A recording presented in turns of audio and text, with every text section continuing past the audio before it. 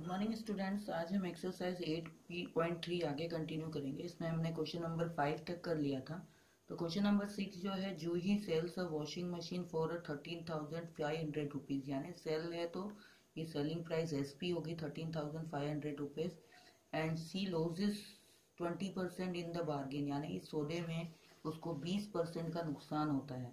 यानी loss percent दिया हुआ है ट्वेंटी परसेंट तो what was the price at which she bought it तो बॉट इट यानी बॉट वाला प्राइस से कॉस्ट प्राइस होता है तो हमको सीपी निकालना है। आपको 8.3 के इंट्रोडक्शन पार्ट में मैंने सीपी एसपी ये सारे फॉर्मूले जो बताए थे, उसमें आपको इंट्रोडक्शन पार्ट में सारे फॉर्मूले लिखाए थे, वो फॉर्मूले आपको लर्न करने हैं। सीपी का फॉर्मूला होता है जब लॉस और एसपी दिया हो तो 100 upon 100 minus loss percent into S यहाँ पे अगर लॉस है तो माइनस लॉस होता है और प्रॉफिट हो तो प्लस प्रॉफिट परसेंट होता है। तो यहाँ पे hundred upon hundred minus loss है ट्वेंटी परसेंट तो ट्वेंटी लिखेंगे। Into S P thirteen thousand five hundred है। अब इसको जब हम माइनस करेंगे तो ये एट्टी आएगा तो hundred upon eighty into thirteen thousand five hundred cut करेंगे। टू फोर जा एट टू फाइव जा टेन एक ज़ीरो से एक ज़ीरो कट जाएगा। अब फोर से इसको काटेंगे। फोर थ्री जा ट्वेल्व एक बज गया फिफ्टीन हो गया। वापस फोर थ्री जा ट्वेल्व तीन बज गए थर्टी हो गया, फोर सेवन या ट्वेंटी, एट टू बज गए ट्वेंटी हो गया, फोर फाइव या ट्वेंटी। तो ये जो हमारा five into three three seven five जब हम मल्टीप्लाई करेंगे तो sixteen thousand eight hundred seventy five आएगा, जो कि इसका सीपी होगा। ये नॉर्मल सा फॉर्मूला मैंने ऑलरेडी आपको लिखाया हुआ है, पहले फॉर्मूला याद कर लीजिए, और फिर उसके हिसाब से जो चीज़ें दी हुई है, वो लिखने के बाद आपको इसका आंसर आसानी से आप निकाल सकते हैं। Question number seven chalk contents calcium carbon and oxygen in the ratio ten is to three is to twelve find the percentage of carbon in the chalk इस क्वेश्चन में दो पार्ट है फ़र्स्ट और सेकंड इसमें calcium carbon और oxygen का जो percentage sorry ratio दिया हुआ है, वो ten is to three is to twelve दिया हुआ है। और आपको इस कार्बन का परसेंटेज पूछा है। तो परसेंटेज निकालने के लिए पहले हम टोटल करेंगे सम ऑफ़ रेशियोज करेंगे। जैसे सम ऑफ़ रेशियोज करने पे ten plus three plus twelve करेंगे तो ट्वेंटी फाइव आएगा। अब रेशियो निकालने के लिए थ्री अपॉन ट्वेंटी फाइव इसका फ्रैक्शन बनेगा। कार्बन थ्री पार्ट है।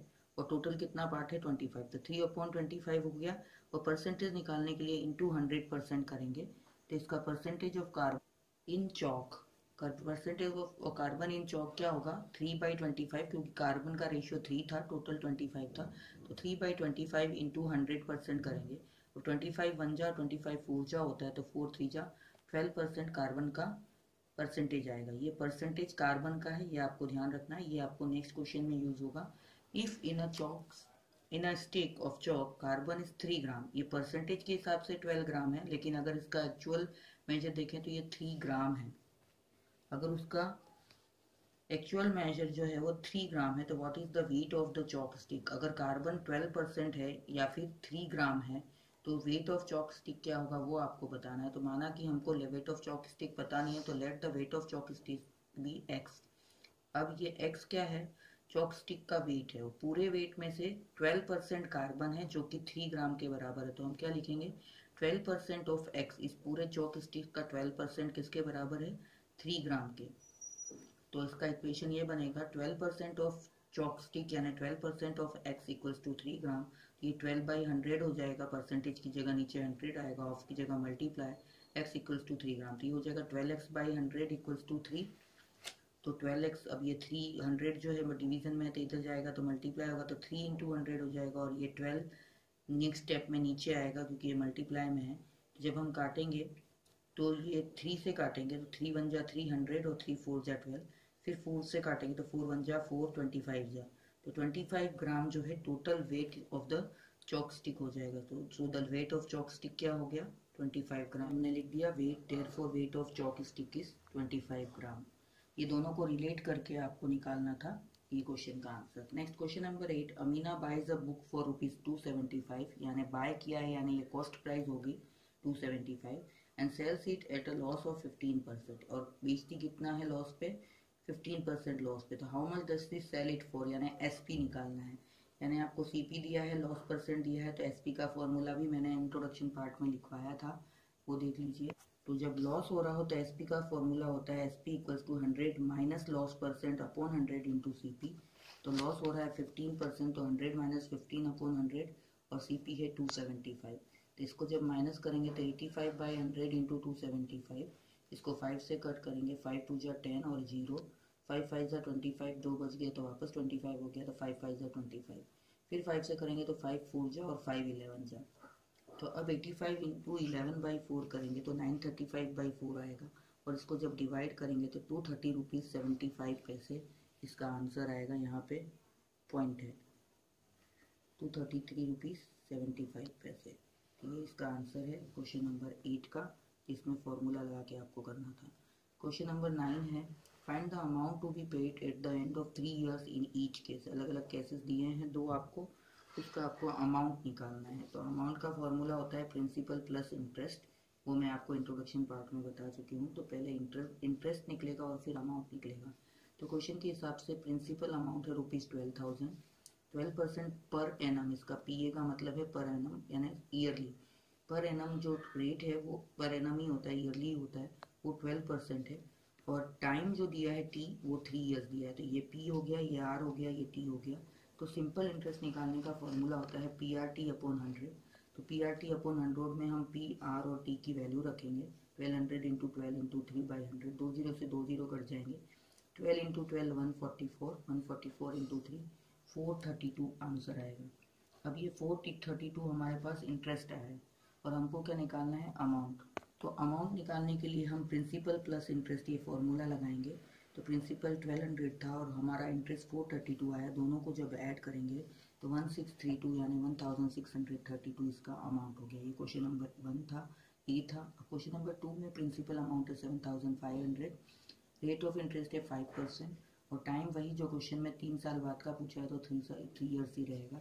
सेम उसी प्रोसीजर से P R T upon hundred करके जब सॉल्व करेंगे पी और आर और टी की वैल्यू रख तो वन वन टू फाइव इसका इंटरेस्ट आएगा।